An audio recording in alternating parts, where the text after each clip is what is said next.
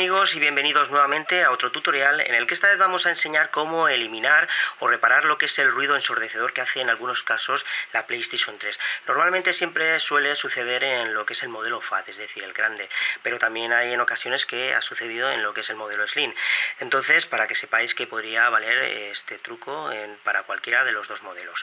Como siempre, antes de continuar, vamos a mandar ese saludo a nuestros suscriptores y también recordar eh, a aquellas personas que se suscriban al canal para así poder recibir todas las nuevas notificaciones de nuevos tutoriales.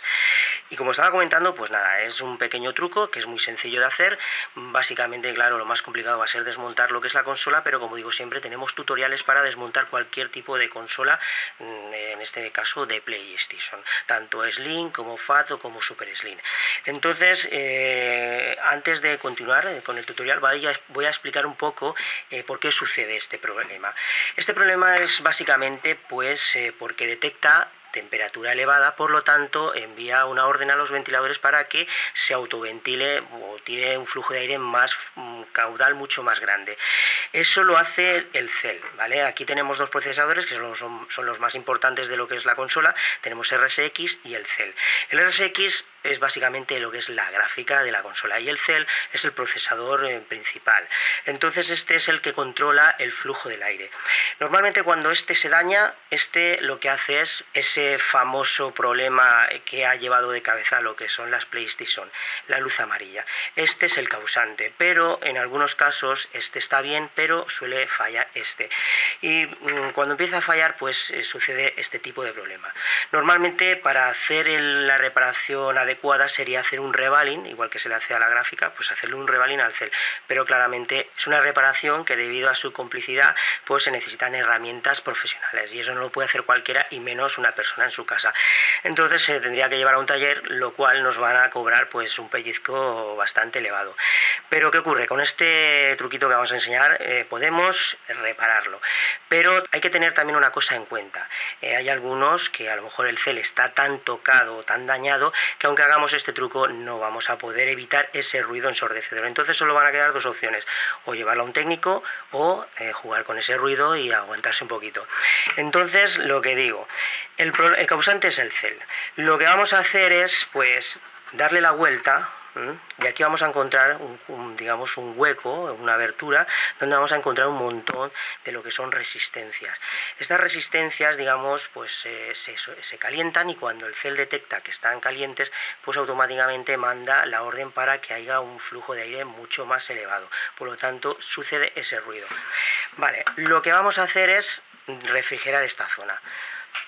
Para ello vamos a coger eh, un modelo, en este caso vamos a utilizar una de 60 gigas, que yo pues ya la he dejado medio desmontada para no tener que, digamos, el tostonazo de tener que desmontarla, porque como digo, tenemos tutoriales para desmontar cualquier modelo de PlayStation. Entonces nosotros hemos dejado, digamos, lo básico, eh, la zona para conectar la alimentación, para encender, y ahora vamos eh, a mostrar qué es lo que sucede. Lo que, lo que voy a hacer lo primero es alimentar la consola y encenderla.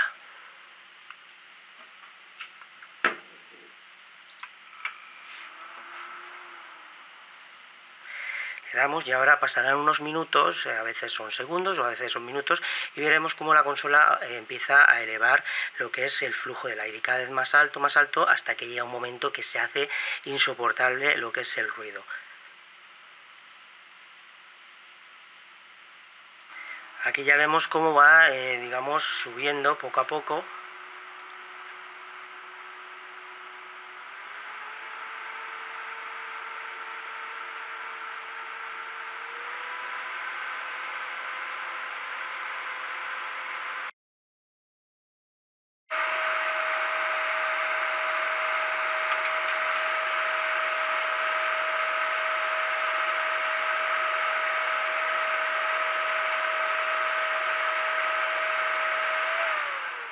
Vamos a, parar, primero lo que es la consola porque claramente es muy, muy elevado el ruido y no se va a oír lo que es la aplicación. Entonces, como podéis ver, eh, habéis visto la imagen y para que veáis que es efectivo este truco, lo vamos a hacer para que podáis daros cuenta de que aquí no hay ningún truco ni nada por el estilo.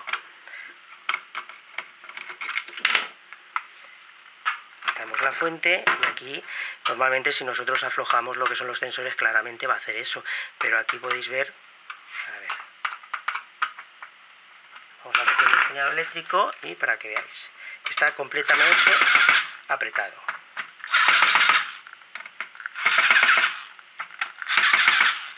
Bien, una vez mostrado esto, pues será más que todo para que veáis que no hay ningún truco ni nada por el estilo.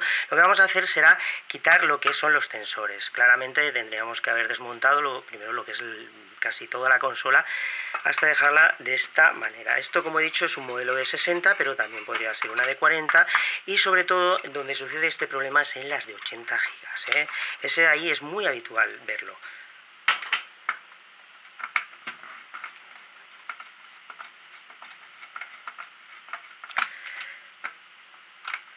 Entonces, como he dicho, eh, para evitar tener que llevarlo a un técnico y tener que gastarse un dinero, pues aquí vamos a enseñar un truco muy sencillo, porque no necesitamos ni herramientas especiales ni nada por el estilo.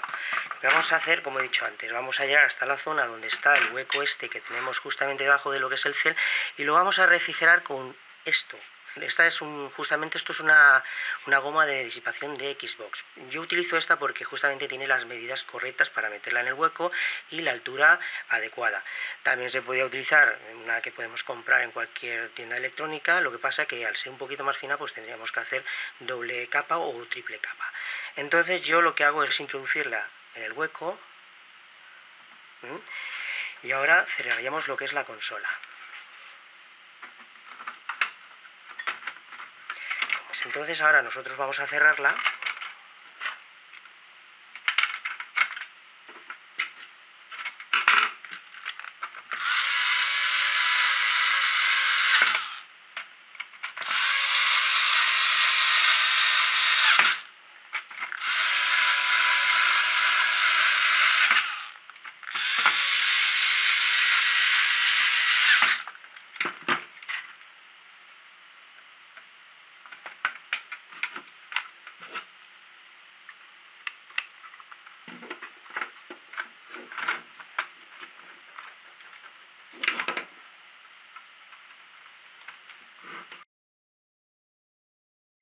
Bien, pues ahora vamos a encender la máquina y vamos a ver el resultado.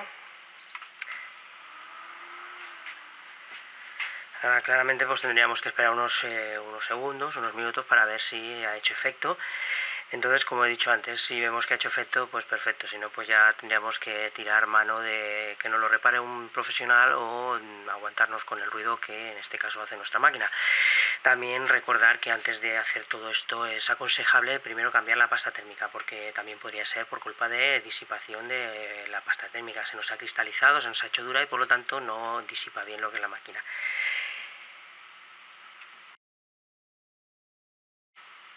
Y bien, eh, como podemos comprobar han pasado ya unos, unos cuantos minutos y básicamente el ruido es el mínimo. Ahora vamos a apagar la consola